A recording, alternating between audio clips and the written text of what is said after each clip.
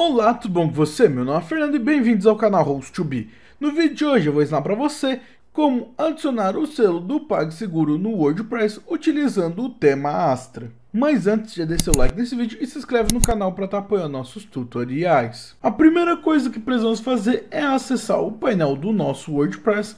Então já estou aqui com o painel administrativo aberto. Em seguida, você precisa ter configurado o plugin do ShopLentor com o modelo de Elementor para a página de produto. Caso você não tenha feito ainda, basta descer na descrição e acessar o tutorial que eu deixei linkado que eu mostro como você vai fazer a configuração.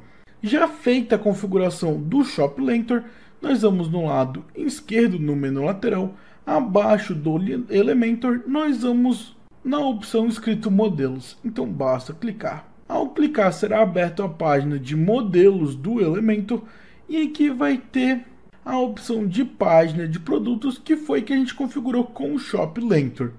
Então nós vamos vir em cima da página de produto e clicar no lado da direita editar com o Elementor. Será então aberto a página de edição do Elementor da nossa página de produtos. E o que iremos fazer é vir no lado da esquerda no menu lateral, eu vou vir logo acima na barra de pesquisar e vou digitar as letras HTML.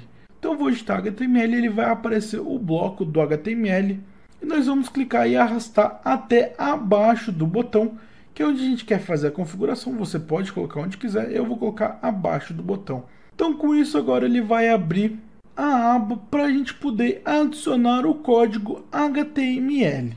E para nos auxiliar, nós vamos utilizar a página do site host2be.net. O link dessa página está na descrição onde é vamos acessar vai ser o código do selo do PagSeguro para o WordPress. Então nós vamos acessar essa página, vir na opção de script e clicar no botão clique aqui para copiar o script. Então basta clicar, o script será copiado e após copiar você pode voltar para o WordPress. E aqui nós vamos na opção de código HTML e vamos dar um Ctrl V para colar. E após você colar, será então adicionado o selo do PagSeguro aqui no seu WordPress. Então vai ter a logo do PagSeguro e as bandeiras dos cartões aceitos pelo PagSeguro. Então com isso você já conseguiu adicionar o selo corretamente e basta salvar. Para salvar você irá no lado esquerdo inferior e vai clicar no botão atualizar. Prontinho, agora já foi atualizado e o selo já foi adicionado na sua loja. Então, se acessarmos qualquer produto do nossa loja aqui no WordPress, no e-commerce, vai aparecer corretamente o selo do PagSeguro.